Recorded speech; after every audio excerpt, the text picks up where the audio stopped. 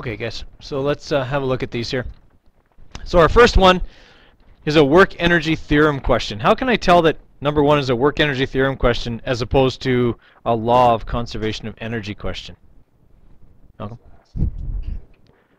Right, as soon as it asks, as soon as you see the word work, you know it's a work energy theorem. A law of conservation of energy question would never ask you about work. All right. Uh, the second way is you can tell that the energy in this one is in fact changing. Right. There's no two points. I mean, there's two points being compared, but we know that the energy at those two points is not the same because it specifically says a force is being used to do something here. Right? In any law of conservation of energy question we've done, we've never seen the word force force is never part of a law of conservation of energy question because a force would imply work is getting done. And we know that that's not the case. Energy is not changing. Mechanical energy is not changing in a law of conservation of energy question. All right, so we got to understand for this one works a change in energy. And in this case, the kinetic energy is changing because the speed is increasing from 3 meters per second to 9 meters per second. All right, so what I have to do then is find out how much energy it has at 3 meters per second and how much energy it has at 9 meters per second. The difference between the two is the work done because work's the change. Right? So I've got 1 half mvf squared minus 1 half mvi squared. So 1 half times the mass of the uh, cart, 1.5 kilograms, okay, times 9 squared, the final speed, minus the initial kinetic energy, 1 half times 1.5 times 3 squared. When I do that, I should get 54 joules worth of work not outside the realm of possibility for a question like that to end up on a unit exam. Or maybe a derivation of that. Instead of uh, giving you the 9 meters per second, maybe I would say 54 joules of work is done. What's the final speed of the of the cart? And you would have to work backwards, okay, the other way. Right? Essentially, the question is still kind of the same. Questions on that one? Okay. Okay, roller coaster. If you see the word roller coaster, what kind of question is it? Yeah, it's a conservation of mechanical energy question. It's that's the prime example for that. Be on the lookout for that. A cart rolling down a hill would also be a law of conservation of energy type question. All right, so it's the top of a 35 meter hill, so they told me what the initial height was, okay, and traveling at an unknown speed, so I have no idea what VI is. But they do tell me the speed and the final height. So later in the ride, the final height is 12 and the final speed is 21.8. With those two numbers, I can calculate the mechanical energy. Well, I can't really, but okay. I can get far enough that I could locate and solve for what the initial velocity is. So the first thing I got to understand is the mechanical energy here and here are what? The same okay, at any two points because there's no work being done in this question, right? Nobody's pushing the roller coaster. Nobody's trying to slow the roller coaster down. It's just flying, okay? So we got EI equals EF, which means the initial potential plus the initial kinetic, and what I'm looking for is part of that, okay, equals final potential plus final kinetic, right? So I can plug in all my formulas. I wasn't given m in the first place, so I'm going to get rid of it, okay? Everybody with me there? Since I wasn't given it, and it's in every term, it'll cancel. And I need to solve for VI. So the first thing I need to do then is subtract this over to this side. All right, so I subtract GHI over to here, then I divide by 1 half and take the square root. And so that's what we see here. VI equals the square root of G times the final height times 1 half of VF squared minus GHI. Right, Kennedy? Put it away. Okay, now plugging in my numbers here, 9.81 times 12 plus 1 half times 21.8 squared minus 9.81 times 35 over 2 or over 1 half square rooted. The initial velocity was 4.9 meters per second. Expect one like that on your unit exam. Okay, that was a unit exam qu question last semester. Right, so expect that's the level of difficulty you should be able to solve yourself.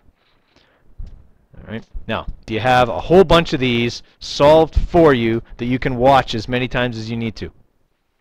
Use that. Okay, this weekend, guys, if there are problems that you do not know how to solve, you'd best be watching them get solved on the podcast. It's your best tool for preparing for this exam on Monday. Caroline.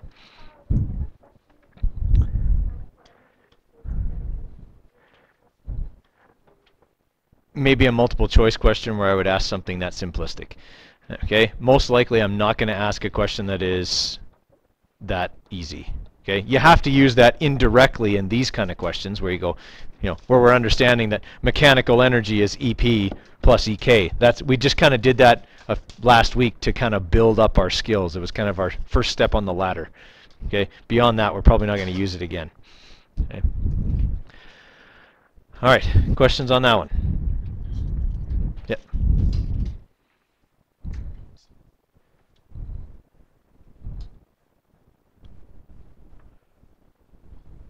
All right, now I'm going to give you another one like this I want you guys to try.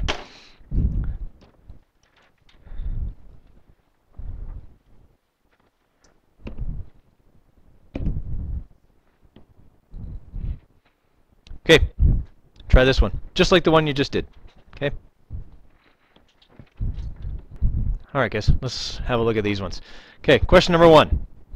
Keyword, work. Yeah, so it's a work energy theorem question. Same as it was in the last one. Okay, except this time, instead of changing the kinetic energy, we're changing potential energy. How can we tell the difference? How do we know whether I should use m times g times h or mv squared? Right. If I'm looking for a change in speed, I've got to use kinetic energy. If I'm looking at change in height, I got to use potential energy. All right. That's the first thing you have to identify other than is it a work energy theorem question or not. Okay. Then you have to identify what kind of energy is changing. Okay. Second one is a bobsledder essentially the same as a roller coaster? Yes, it is. Okay. His energy, mechanical energy at the top is equal to his mechanical energy at the bottom.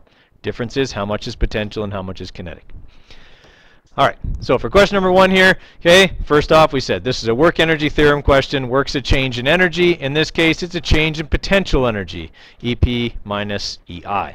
Okay, so m times g times the final height minus m times g times the initial height. So that's our uh, 35 meters, so 200 times 9.81 times 35 minus 200 times 9.81 times 10 gives us, okay, 49,050 joules worth of work to lift 200 kilograms, 25 meters, all right, which is a fair amount of energy. 200 kilograms is a lot of weight, okay? It's over 400 pounds, okay, to give you some idea. It would take a lot of trips for you probably to do that, okay? All right, questions on how that one works? Okay, now on a test, could I change that and say what's the final height of the of the 200 kilogram load? Sure I could, right? And then instead of, I would have to give you, of course, this number, right? The work done, or give you a force and a distance or something like that, okay? And you could work backwards to find the final or initial height, depending on what you were asked for. Okay, bobsledder's making a run when he's 45 meters above the end of the track. He's moving at 12 meters per second. So essentially we have a roller coaster track, except this time it's a bobsled track right? So we know the initial velocity, we know the initial height. What we're going to be asked to find is the final speed, final velocity of the of the bobsledder. Okay, knowing that his final height is 13 meters. So energy initial equals energy final. Okay, the thing I'm looking for is part of the final kinetic energy. So plugging in all of my numbers here, or sorry, I can move EK over to this side, okay? Sorry, not move EK, sorry, move EPF over to this side, so I leave EKF by itself. Then I can plug in my numbers. Okay, did I give you the mass of the bobsledder? Did I have to? No. Okay, in this case, mass is in every term, so I can eliminate it, which is what's done here in this step. You can see all the m's crossed out. Okay, now we're trying to solve for VF. So I got to bring the half over to this side by dividing both sides by one half, and then I got to square root, okay, to get VF normalized and by itself. Then I plug in my numbers. 9.81 times the initial height, which was 45, plus 1 half times 12 squared, that's the initial kinetic energy, minus the final potential energy, 9.81 times 13, over 1 half square rooted. Gives me that at the end he's moving at 27.8 meters per second. Okay, both of those were exam questions spring of last year. Okay, noticing a pattern here. Okay, do you have a better idea what to expect on Monday? Alright, be ready guys. I'm, I'm not trying to trick you here, okay? I want you guys to do well on this. That's why I'm showing you so many examples, especially old exam examples. Right? You got to be ready. I would say on this exam be ready for one work energy theorem that is potential, one work energy theorem that is kinetic, and a law of conservation of energy problem. Expect those three things for sure in the written response section of the test. Okay. You'll get more details on that tomorrow, okay? Because the lesson that was originally planned for today when I wasn't here is the unit exam review, which you'll get tomorrow. All right. Okay. Now, what else we got here? Okay. Um, so the question goes, I'm just going to cover up part of it here, if I can. I can't because I don't have that tool on here right now. Okay, anyway. Okay, so we got the rock falling off the cliff. It's 20 meters off the ground. It's moving at 16 meters per second. The rock's two and a half kilograms. Okay. Um, oh, no, sorry. That's way under what we're going to be doing here. Way under what we're going to be doing. Still way under what we're going to be doing. That's not a very good one either. Okay, try this one. You don't need any explanation here. Roller coaster. Four and a half meters per second at the top. 200 meters off the ground. It's the roller coaster from hell. Okay, and over on the other side, it's 50 meters off the ground. Figure out how fast it's going. All right, give that one a try. Okay, let's have a look at this one here. Same as always, okay, for any law of conservation of energy question, we start out with EI equals EF, okay? We're trying to find the final velocity, which is part of the final kinetic energy. So I'm going to skip a step here and go straight to this. mghi plus 1 half mvi squared equals mghf minus 1 half mvf squared. Okay, there's no m. Even if there was an m, it doesn't matter because it cancels off. I'm trying to get vf by itself. So first thing I do is subtract, uh, sorry, subtract GHF over to this side. All right, so I have GHI plus 1 half VI squared minus GHF equals 1 half of VF squared. I want VF by itself, so I divide both sides by a half.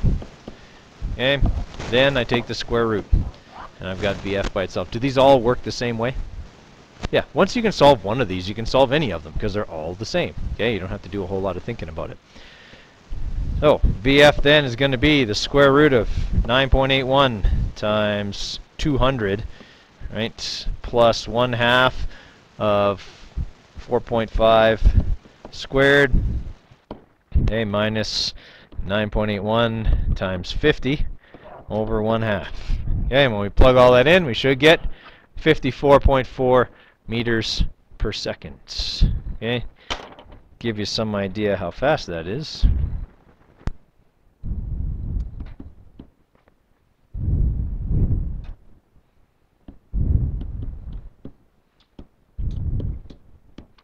That's 195.8 kilometers an hour. Know too many roller coasters that go that fast, but if you free fall 150 meters, you're going kind of fast after that, I would think. Okay, and imagine if that's how fast you're going over there at 50 meters, how fast you'd be going down here at zero.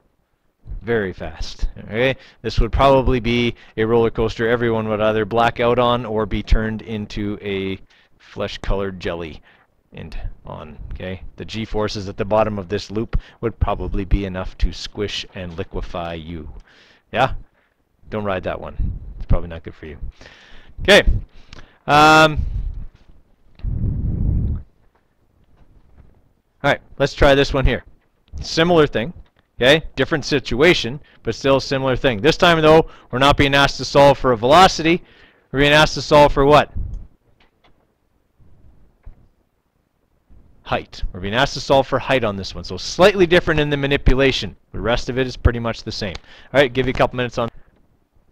All right, so on the ground, at ground level, how much potential energy does this thing have? Zero. All right, so we're looking at still an EI equals EF situation. It's just that initially we only have kinetic energy. Okay, and that's going to equal at the end where it's got both. Okay, they tell us it's still moving at 110 meters per second, but they're asking us how high above the ground it is, which is part of that term. So first I should move EKF over to the other side. All right, so I'm going to have 1 half mvi squared minus 1 half mvf squared equals m times g times hf. All right. Did I give you the mass?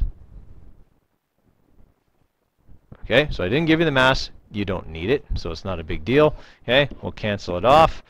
Um, and then we'll solve for HF. So we'll divide both sides by G. Okay, and that's it. We're solving for HF now. So we plug in our numbers, right? And um, okay, so I don't know where that number came from. We're solving for a height. I don't know why it'd be meters per second. Cross that off here. Okay, so our numbers plugged in here now are going to be uh, 1 half times the initial velocity, which was 495, 425. 420, 25 squared minus 1 half times 110 squared over 9.81. So 0.5 times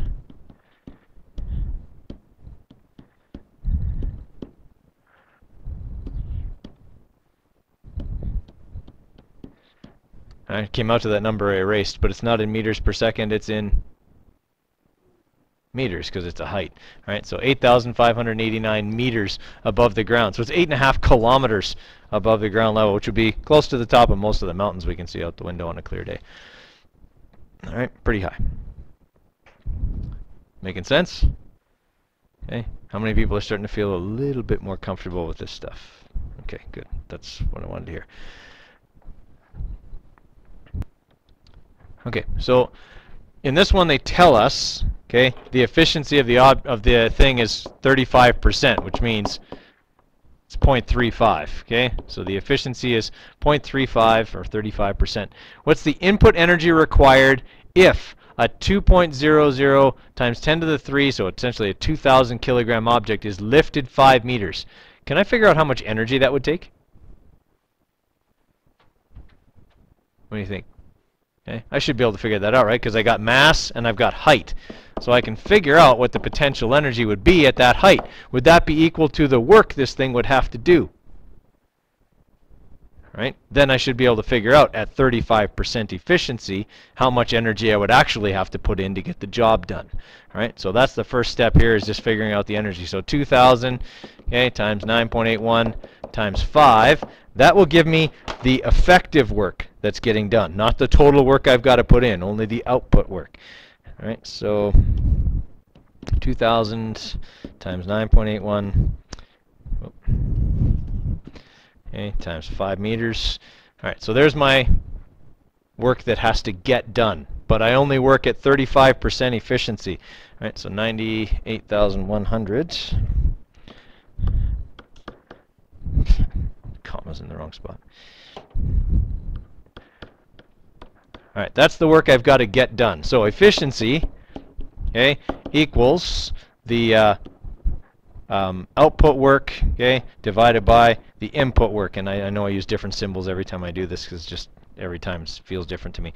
All right, so I want to find out how much work I've actually got to put into this thing. So that means I got to cross multiply these two numbers. Agreed? All right, so then I'm going to have the work that's got to go in is got to equal the work I'm going to get out divided by the efficiency. So that's going to be 98,100 joules divided by 0.35. Will that give me a number bigger than 98,100? Okay? And that makes sense, right? I would have to put in way more energy than that in order to get this done at 35% efficiency. Okay, so uh, divided by 0.35. Okay, and it gives us 280,285 joules. Right, so a lot of energy to get that work done. Does that make sense, Alex? Yeah. All right. Any other ones from the efficiency one you want to go over? All right. I want you to finish up those two sheets you've got, okay? The work and energy and conservation of energy and that efficiency one. I want those done, okay? There is some efficiency stuff on the unit exam, not very much, okay? The conservation of energy and work energy theorem stuff is the most important. If you have questions about any of those, this is your last chance to get them answered, all right? Well, maybe scheduled help on Monday. That's really leaving it to the last minute. Okay? Not that I won't. I'll answer them. That's fine on Monday, but you're really leaving it for the last minute then. Alright, so let's get to work on that stuff there, guys.